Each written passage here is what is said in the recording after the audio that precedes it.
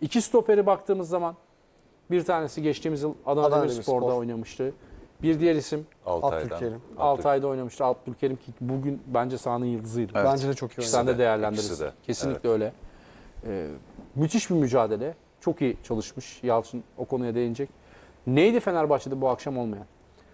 Ben e, saha içi problemlere zannediyorum. Taner'in bazı çalışmaları var. Onlara yine ekstra girecek o ama benim e, maç içinde not ettiklerimi istersen kısa kısa aktarayım. Birincisi e, tabii ki Erol Hoca bir şeyler hayal ederek yaptı bunu ama Mehmet Tiam'la başlamak zannediyorum e, ilk hataydı bu maç öncesinde. Bu maçla ilgili bahsedeceksek ilk hata oydu. Hani e, gömleğin ilk düğmesini yanlış ilik, iliklersin devamında da bütün düğmeler yanlış olur. E, Mehmet Tiam konusu zannediyorum e, bu anlamda Fenerbahçe için 45 dakikalık bir kayıp oldu o bölgede. Çok daha farklı seçenekler, çok daha farklı alternatifler varken e, uzun süredir işte e, yaşadığı alerjik reaksiyon dolayısıyla e, kadroya dahi giremeyen Mehmet Yam'la başlanması enteresan bir tercih oldu ve bu tercih başarısız oldu. İlk 45 dakika itibariyle Tiam'ı çok fazla oyunda göremedik. İşte bazı defansif aksiyonlarda belki takıma yardım ettiği konuşulabilir ama tabii ki ondan beklenen daha fazla hücum çeşitliliği katmasıydı takıma ve onu gerçekleştiremedi. Çok fazla pozisyon üretemedi Fenerbahçe o dönemde. Sadece Tiam da değil bu arada ilk 45 dakikanın problemi. Bence Fenerbahçe takımı genel olarak e, bir biz bu maçı nasıl olsa kazanırız. İşte Antalya Spor maçında 20 tane pozisyona girdik. 2-1 de olsa kazandık ama bir hücum zenginliğimiz var. Ee, ikinci yarıda da olsa biz bu işi çözeriz düşüncesiyle çıkılmış çok net.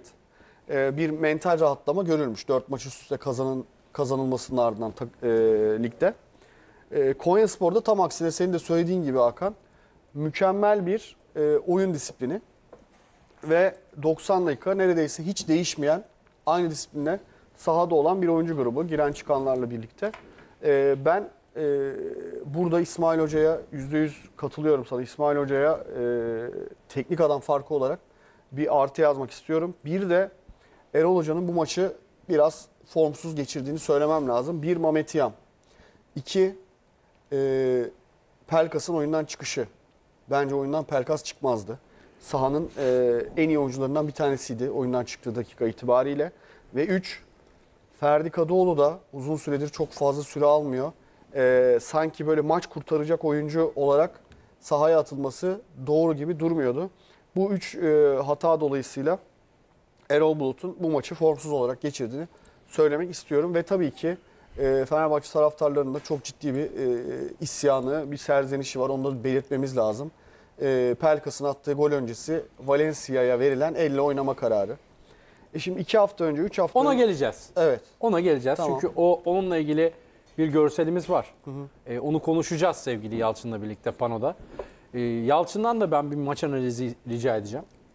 Yani Volkan'ın söylemiş olduğu e, başlıca sebeplerden bir tanesi benim de dikkatimi çeken Fenerbahçe takımı bugün şöyle bir hüviyetteydi. Yani hem teknik ekibiyle hem oyuncu grubuyla. Biz nasıl olsa kazanırız düşüncesi her zaman tehlike arz eder. Evet. Ve baktığınızda Konya Spor takımı, İsmail Hoca ve ekibi Fenerbahçe'yi çok iyi analiz etmişler. Ve kendi planları doğrultusunda Fenerbahçe'yi üstüne çekip kontra ataklarla e, baktığınızda doğru hamleler yaparak oyun içerisinde mesela e, Sokol Çikilaçi, Caner'le bu anlamda e, tempolu bir oyuncu. Caner'in o anlamda hücuma e, katkı sağladığını çok net bir şekilde gördükleri için e, Sokol'u direkt Caner'in üzerine adam adama markaj gibi e, gördüm ben sahanın içerisinde. Tabii, bu tabii, anlamda Fiziksel olarak da biraz daha üstün bir oyuncu Caner'den. Evet, E, tempolu bayağı bir zorladı, oyuncu. bayağı yıprattı. Ya ben de Başakşehir'de kendisiyle oynadığım için e, normalde pivot santrofor özelliği taşıyan bir oyuncu bugün kenarda oynadı. Sağ açık gibi oynadı. Evet neden? Temposu buna çok müsait bir oyuncuydu. Ama e, Fenerbahçe'nin bugün takım olarak beklentilerin altında kalan bir performansı vardı. Sorumluluktan kaçan, bireysel özelliklerinin hiçbir şekilde sahaya yansıtmayan bir oyuncu topluluğu vardı. Buna da Erol Hoca zaten yapmış olduğu hamlelerde de açıkçası İsmail Hoca'nın tuzağına net bir şekilde düştü. Çünkü e, oyun 0-0 iken çift santrofora dönmesi, baktığınızda bugün Abdülkerim ve Adil bir alt ligden gelen oyuncular. Ama bugün sahanın En iyi iki en isim. iyi iki ismi diye lanse edebiliriz yani bu çok doğru bir şekilde.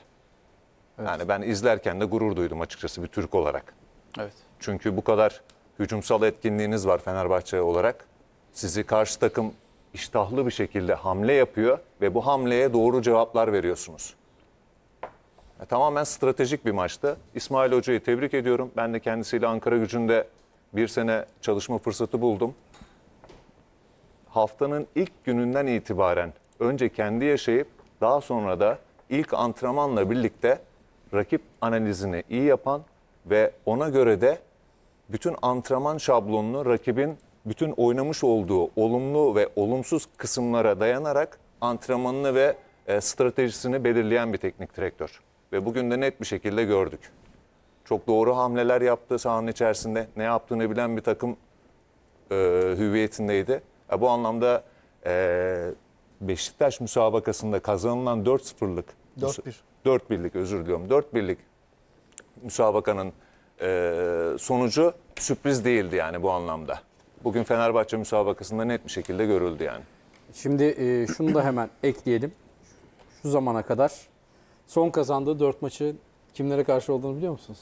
Fenerbahçe. Fenerbahçe, Beşiktaş, Trabzonspor, Medipol, Başakşehir, Konyaspor. Tabii. Yani geçtiğimiz sezonun son e, haftaları Konya Spor için kazanmak zorunda olduğu haftalar genellikle e, üst sıra ekiplerine karşıydı ve o maçlarda e, 100 bin TL'den fazla primler e, vaat edilmişti. Hatta benim kulağıma gelen 200 bin TL civarında. Bu maç maçta başı. da bu maçta da prim varmış bu arada. Ee, yani Normal bu, ama. bu maçta olan prim her takımda olan seviyede muhtemelen Derbi Süper Lig maçlarının seviyesinde olur. olan 20-30 bin TL civarında prim vardır bu 90 bin diye, karşılaşmada. diye duydum.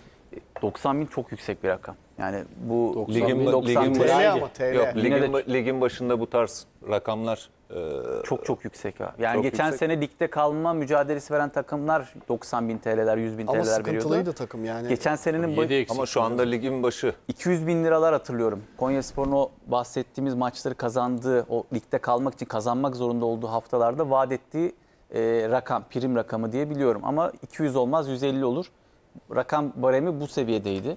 E, ama kutlamak lazım. Bugün gerçekten, yani Evet. dün gerçekten de iyi, Şimdi- direnmekten de ziyade iyi oynadılar. Kesinlikle. Taner Karaman bizler için bir grafik hazırladı. Ne grafiği? Caner Erkin. Çünkü en çok konuşulan isim. Neden Fenerbahçe bu kadar çok kanat ortası yapıyor? Neden merkezi kullanmıyor? Geçtiğimiz maç 45 orta yapmıştı. Caner bugün sadece tek başına 25 orta yapmış. Değil mi? Doğru. İstatistik bir gelsin. İstatistik gelecek. Birazdan. Ben biraz Caner konusuna da gireyim. Yani Tamam. oyun içeriğine de gireyim. Ben, ben sana buradan anlatayım. Evet. Geldik şimdi Taner. Geliyor grafik. Evet. Evet grafiğimiz bu. İnanılmaz rakamlar bu arada. top kaybı 41. Orta. Yirmi- İttifak Holding karşılaşmasında 28, Antalya Spor maçında 24. 24. Toplamda da 52. 52. Orada 2 4 24. Evet, Evet, o 24. İsabetsiz orta 26. Antalya Spor maçında 16 toplam 42. Top kaybı 41. Antalya Spor maçında 32 ve toplam 73. İki maçta da İnanılmaz. 73 top kaybıyla oynuyor. Top çalma sadece 3. Atak uzaklaştırma her iki maçta da 2. Toplam 4. Gole neden olan hata 2. Ki Antalya Spor maçında da hatırlarsınız atılan gol Antalya Spor Podolski'nin attığı topta Caner evet kendi adamı değildi ama müdahalede biraz daha hızlı olabilse topu alabilecek seviyedeydi. Ee, ona bir gollük hata demek istemiyorum ama müdahale edebileceği bir hata birkaç adım geride kaldığı için kaçıran bir Caner performansı var. Şimdi Şurada e, şurası 24. Onu söyleyeyim Antalya Spor. Orada Evet. Ya toplama, toplama- yazmayı unutmuşuz. toplama dikkate Özür alalım. diliyoruz. Yani toplam Toplamı dikkate, dikkate alalım. Yani orta rakamı İki maçın toplamı. Orta 52 orta yapmış. maçta. 42. İta, isabetsizi 42. Ya bu oyuncunun bu istatistiği bir yandan da sorumluluk aldığını gösteriyor. Evet. Top kaybı Baktığımızda- 73. Çok yüksek bir rakam ama top kaybı özellikle. Top çalma 3. Atak uzaklaştırma 4. Gole neden ol- olan hata 2. 2 karşılaşmada. Evet. Caner Erkin. Şimdi bu konuda aslında Fenerbahçe'nin oyunuyla alakalı söylenebilecek başka noktalar da var. Ama e, plansızlık mı var? Bu karşılaşma nezdinde tek plan bu muydu? Aklıma şu geldi. Hepimiz hatırlayacağız. E, Karabük Spor karşısında Beşiktaş'ın deplasmanda oynadığı bir mücadele vardı. Şenol Güneş döneminde deplasmanda 50-60 tane hatta e, Igor Tudor da Karabüyük'ün başındaydı. Hatta Karabüyük'ün çıkış yaptığı haft- maçtı o karşılaşma. E, Igor Tudor'un çok özür diliyorum. E, ve o 50-60'a yakın neredeyse yapılan ortaları bir şekilde savuşturup puan almışlardı. Ve çok ciddi bir plansızlıkla eleştirilmişti o karşılaşmada. Beşiktaş. Şimdi bu karşılaşmada bakıyorsunuz Erol Hoca'nın bence formsuzluğuyla alakalı şöyle bir problem var. Rakip sizi durduruyor. Ciddi bir problem var. İlk 19 dakikada Caner'in yaptığı top kaybı sayısı 9. İlk 19 dakikada. Yani bir ideal bir futbolcunun 90 dakikada yapması gereken top kaybı, yani ayağındaki topu kaybetme sayısına Caner 19 dakikada ulaştı. Ve böyle de devam ediyor. 29'da da böyle, 39'da böyle katlanıyor, 60'da böyle, 70'de böyle ve müdahalede bulunmuyorsunuz.